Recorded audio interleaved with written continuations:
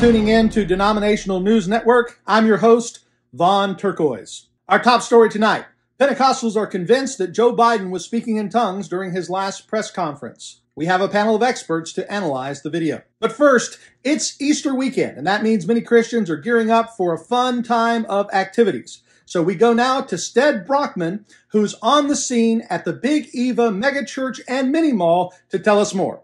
Stead? Thank you, Vaughn. Yes, I am Stead Brockman on the scene of the Big Eva Megaplex Church and Mini Mall annual Easter extravaganza. I see many children running around looking like they're having a good time.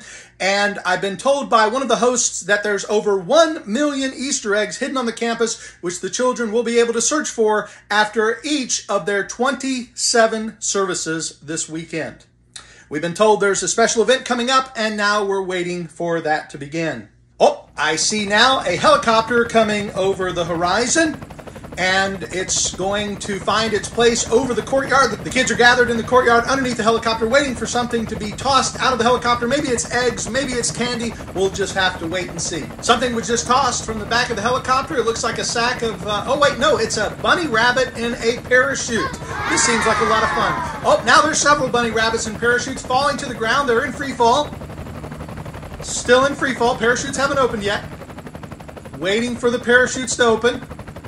Waiting for the. Oh! Oh no! Cut! Cut!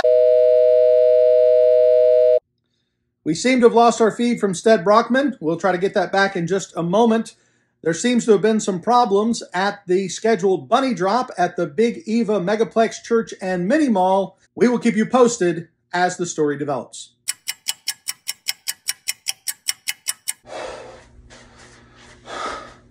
I'm telling you, I I thought bunny rabbits with parachutes would fly.